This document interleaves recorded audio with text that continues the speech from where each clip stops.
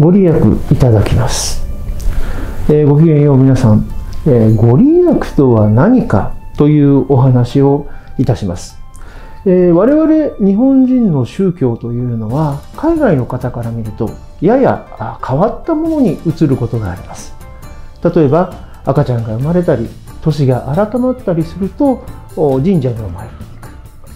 えー、亡くなると今度はお寺で法事をする。そして、えー、クリスマスやハロウィンまでお祝いする、えー、節操がないではないかとか、まあ、原理主義的な方からするととてもキーに移るようです。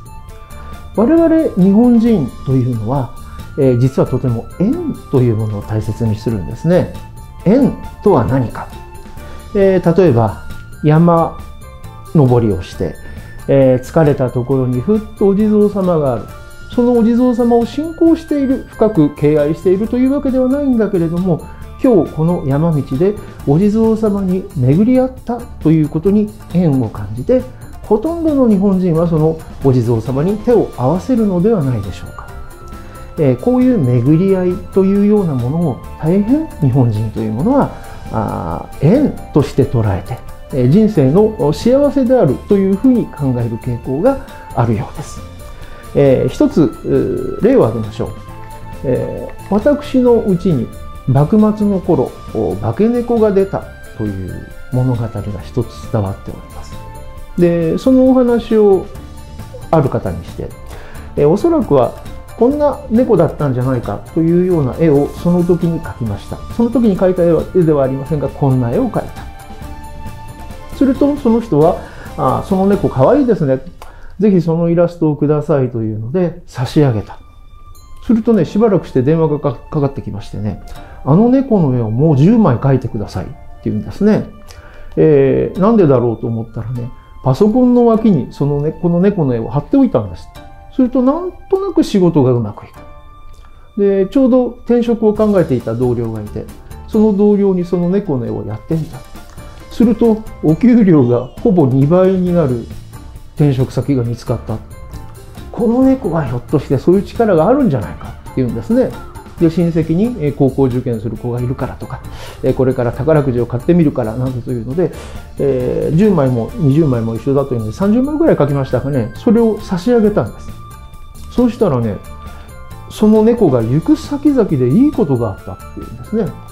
えある食品関係の雑誌の人はえー、先輩が急に行けなくなった出張の代わりに自分が出張に行ってその先でロマネコンティをごちそうになりましたとか、えー、ある雑誌の女性編集長は、えー、この猫を持っていたら本屋さんで若い男の人から電話番号を渡されたっていうんですね。えー、その他にもね宝くじが当たったとかねそういうお話がいろいろと入ってくるようになりました。でこれ実はこの猫にねあるいはそれを書いた私にね力があるという話ではないんだろうと思います。えー、皆さんの日常の中にこういうね小さな幸せなことっていうのはねいくつもあるんです。つまり宝くじで別に3億円当たったわけじゃないんですね。3000円ぐらい当たったっていう話です。えー、出張先でちょっといい美味しいワインを飲むということもあるでしょう。それは日常普通に生きているとその幸せであることすらカウントしないかもしれない。しかし、えー、この猫の絵があることによってあこの幸せは猫の絵のおかげなんじゃないかと思うわけですね。つまり、えー、お札とか信仰とか